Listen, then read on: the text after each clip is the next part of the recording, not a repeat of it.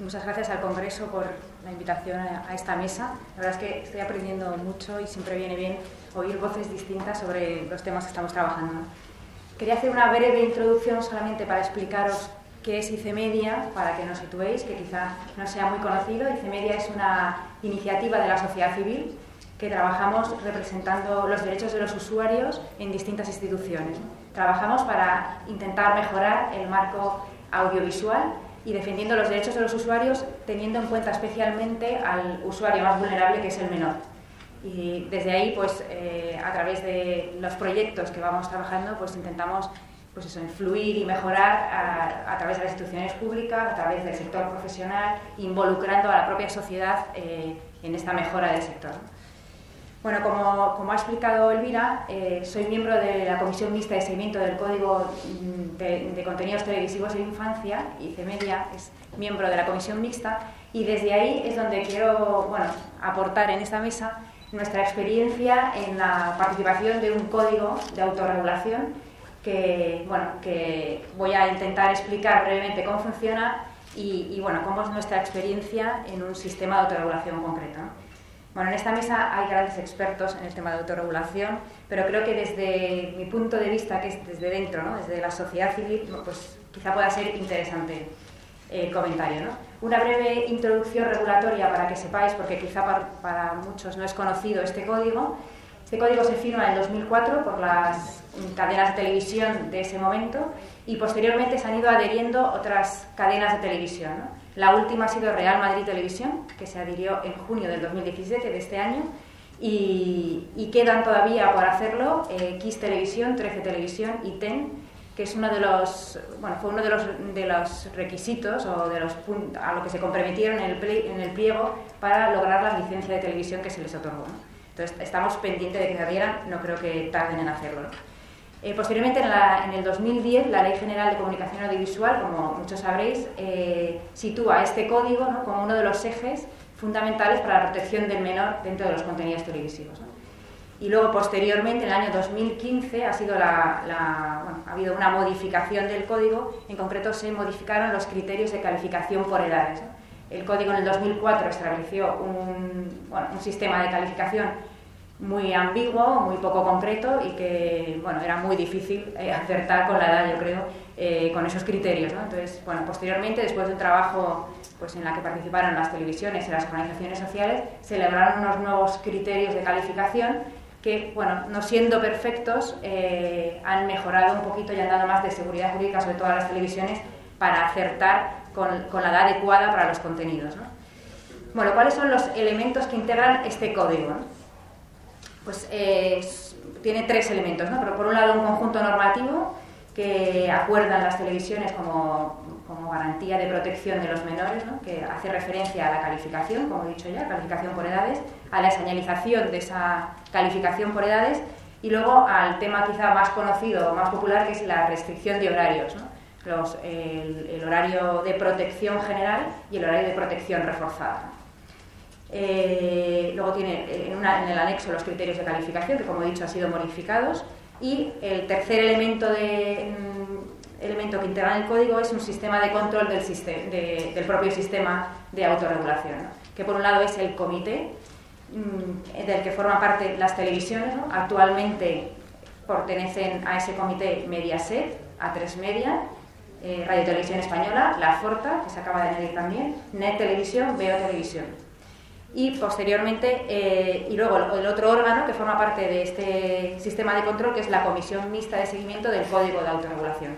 ¿Quién pertenece a esa comisión mixta? Por un lado, las televisiones, que acabo de mencionar, y por otro lado, las organizaciones sociales. En este órgano está previsto en el código que tiene que existir paridad. Al incluirse, al añadirse la FORTA, pues eh, se acaba de añadir también en este año una asociación de profesionales de la educación, ahora mismo forman parte de la comisión mixta por parte de las organizaciones sociales, AUC, que me parece que ayer tuvieron ocasión de escuchar a Alejandro Perales, que ha sido presidente de AUC, con CAPA y CEAPA, que son organizaciones de padres y madres, eh, UNICEF y ahora mismo se acaba de añadir la Asociación de Profesionales de la Educación. Bueno, ¿cómo funciona? Eh, bueno, el sistema es bastante sencillo. ¿no? Por un lado existe una página web, TV Infancia, que la verdad también me, me gustaría preguntar en esta sala quién conoce la página web de Infancia. Bueno, pues la página web de Infancia es, eh, digamos, el inicio del proceso. Pues que la noten, que la noten. Sí, sí, la verdad que espero que después de, esta exposición pues eh, podáis dirigiros a ella, ¿no? si, si, lo veis conveniente. ¿no? Bueno, la página web de Infancia es el inicio del proceso, es decir, eh, todas las eh, usuarios de los medios, los telespectadores en este caso, que, piensen que ha habido un incumplimiento del código, se dirigen a esa página y en el formulario que, hay en la página web eh, pues ponen una queja. Eh, cuatrimestralmente, cada cuatro meses, las televisiones se reúnen y realizan un informe mm, de las quejas que se han recibido durante esos cuatro meses y en ese informe deciden ellas si ha habido, primero, si se acepta esa reclamación, porque se considera que, bueno, que es adecuada o que está bien hecha, y en segundo lugar, si hay inconveniente o no hay inconveniente, o sea, si creen que ha habido un incumplimiento o no ha habido un incumplimiento del código. Eh, elaboran un informe que trasladan a la Comisión Nacional del Mercado de la Competencia y, la, la, CNMC traslada ese informe a las organizaciones sociales. Eh, eh, en, ese, la CNMC traslada, esto también es interesante, no solamente ese informe que han hecho las televisiones, sino también eh, muchos de los usuarios que se dirigen a esa web hacen reclamaciones en torno a publicidad, aunque no es un contenido, pero porque es un contenido que se emite también por televisión. Entonces, eh, la, la, CNMC traslada las quejas que hagan referencia a tema de publicidad y autocontrol también contesta. Y todo eso, el informe más la respuesta de autocontrol, lo trasladan a las organizaciones sociales.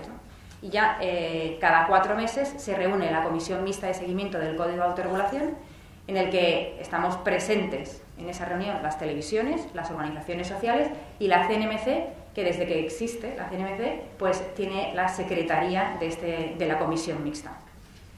¿Qué se hace en esa Comisión Mixta? Pues la verdad es que se hace, se debate y se reflexiona sobre lo que ya han hecho las televisiones. Eh, en esas reuniones, en muchas ocasiones, las organizaciones sociales y, en muchas ocasiones también la CNC aprovechamos esa oportunidad para eh, poner, visionar eh, las quejas que han puesto los usuarios, que las televisiones entienden que no hay inconveniente y que nosotros entendemos que hay un claro inconveniente para su emisión. bueno, sirve pues simplemente para que las televisiones se sensibilicen y que lo tengan en cuenta para futuros informes.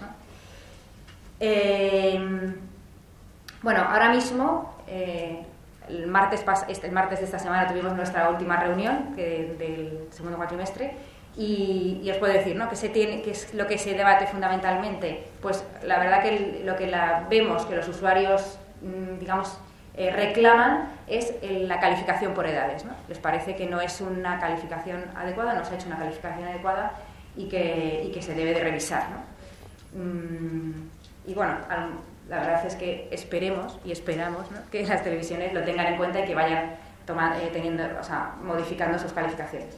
Bueno, ¿qué, tiene, eh, ¿qué problemas tiene el código? Bueno, a nosotros nos parece que es interesante un sistema de autorregulación, entendemos que debería ser más bien una corregulación, ¿no? y que, bueno, es una, o sea, que el propio sector tenga, bueno, se, establezca sus normas para la protección de menores es adecuado y es interesante, ¿no? pero tiene que funcionar, si no, no sirve para nada.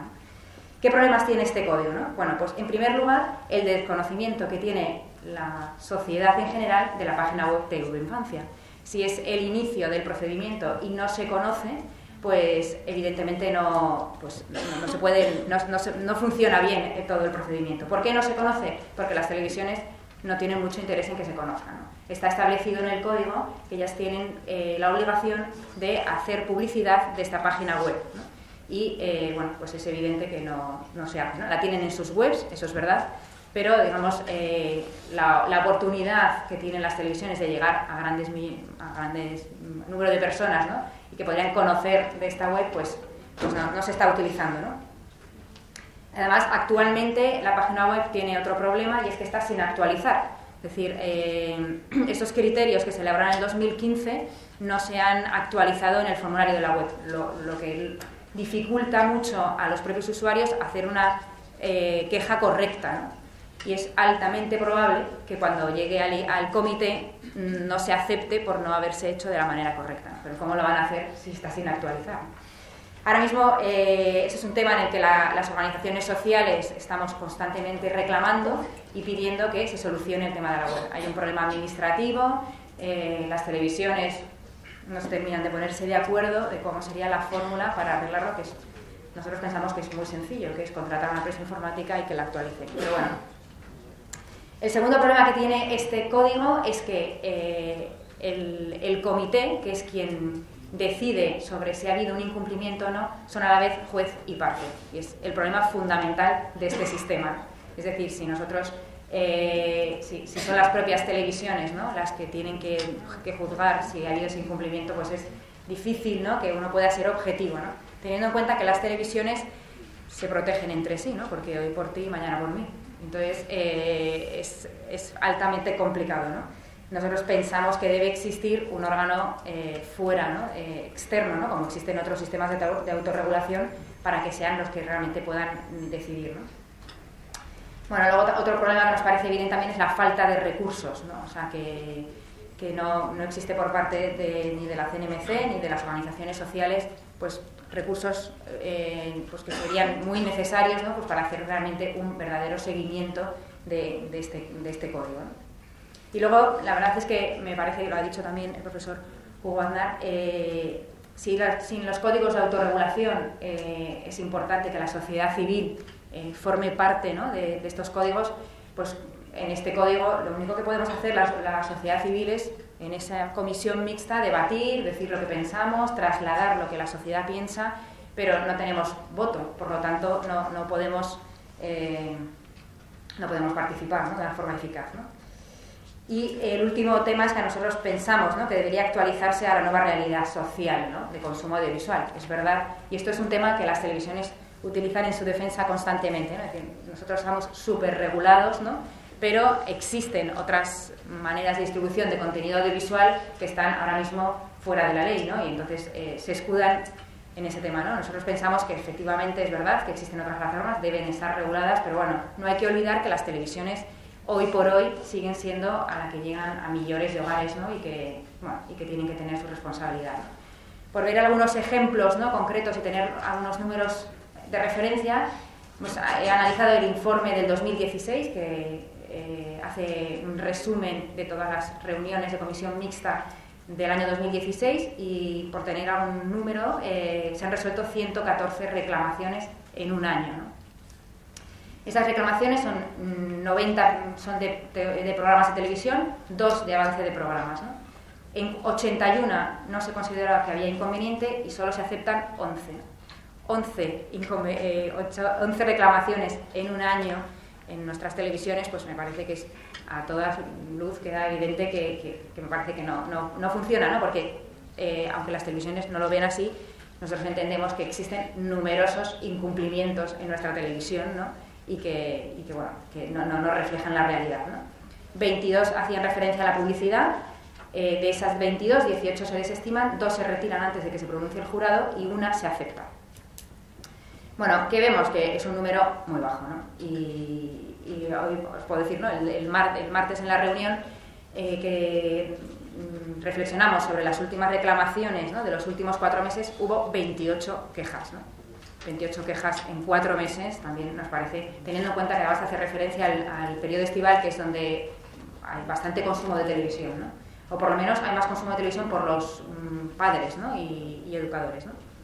Bueno, haciendo, buscando datos así en otros países, ¿no? Eh, pues en, Ofcom, que es el regulador de Gran Bretaña, ¿no? y que muchos ya seguro que lo conocéis porque es siempre una referencia, pues solamente la semana pasada en un programa se recibieron 28 quejas, ¿no? o sea, el número es bastante diferente. ¿no? La semana del, del 5 al 11 de septiembre se recibieron 1.099 quejas de un programa, Good Morning Britain, y 35 de lo que es la isla de los famosos en, España solo en 10 días. Bueno, creemos que, bueno, que, existe un amplio margen de mejora de este sistema de autorregulación eh, bueno, y que eh, hace referencia a la protección de menores nos parece muy importante ¿no? que esto pues tenga pronto una, una reforma. Pensamos que ahora hay una ventana de oportunidad, que es la nueva directiva audiovisual, que sabéis que a finales de diciembre parece ser que ha dicho la Comisión Europea que espera que ya tengan el texto definitivo y que bueno, hace referencia a estos temas, hace referencia a la autorregulación y a la corregulación y pensamos que puede ser un buen marco ¿no? pues para animar ¿no? a, y fomentar entre los distribuidores de contenidos ¿no? que sean conscientes de su responsabilidad ¿no? para la conformación de la, de la sociedad ¿no? y que es necesario y claro ¿no? pues que, que, este sistema es un pasito, ¿no? pero es necesario hacer que, que funcione correctamente, ¿no? que la sociedad lo necesita. Pues este es un poco lo que quería contaros en esta exposición.